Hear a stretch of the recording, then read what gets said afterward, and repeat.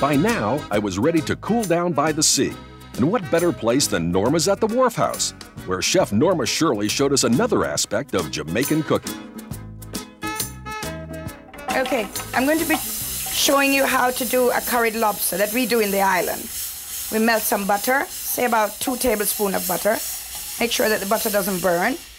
And to this we're going to add, and I am going to use my hands because I think hands are here to be used. We're going to put some scallions, a generous amount of scallions. We're going to put some garlic, which I have creamed with a little olive oil, or you can just use any vegetable oil and mix that in. And also, we're going to put some curry powder. Let's put about teaspoon and a half, and we have the Madras curry powder. Tell me about the Madras curry powder. Well, it's from it's it's from India. It comes from from Madras in India, and it's quite a much more spicy. If you could smell this, you could smell the flavor that's coming off from it. Great. And we're going to put this on and just sort of saute it for a couple of seconds, really. Then to this now, we're going to add the, what we know as a Scotch bonnet pepper, which I'll show you one of them in its real form. This. Okay. And this is a chopped up. Now, we're just going to put a little bit of the Scotch bonnet pepper in. That's been cut. Try not to use the seeds, as what happened with the seeds is that the seeds give a much more hotter flavor. And really, you want some heat, but what you want, you don't want that such heat that you, for heaven's sake, you're, you're just burning your tongue and you you're not really enjoying your meal. Then I'm going to add some couple shells of fresh thyme. This is, to me, this is the queen of spice. This is wonderful. And I'm just going to take some of the leaves off. We added a little bit of water or chicken stock if, if you rather that to give it a little bit more liquid in it. And to this now, we're going to blend this. We're going to blend it. I'm just going to put it in a blender and blend it till it's smooth.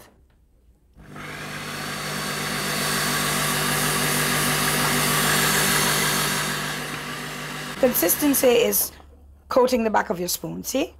See? I created it myself because I find that what happens is lobster become too rubbery. So I make the sauce and then put the lobster in. People tend to be cooking the lobster as they're making the sauce. So the lobster gets overcooked and becomes terribly rubbery. And what you want to do is to have the lobster still quite succulent, you know, um, maybe even to the point of being underdone because as you know that shell food really gets rubbery if they're overcooked. Well, most anything. Now here we have some lobster. And what I've done is taken it out of the shell and just cut them in sort of nugget-sized pieces. We're just going to drop this in, bits of lobster.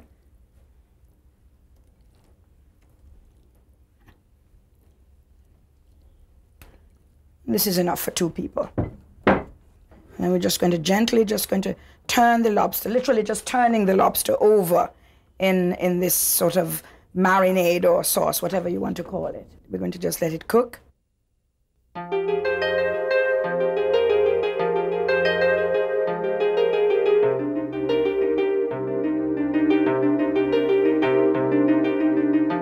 Here is the elegant finished dish curried Jamaican lobster with Otaheite apples.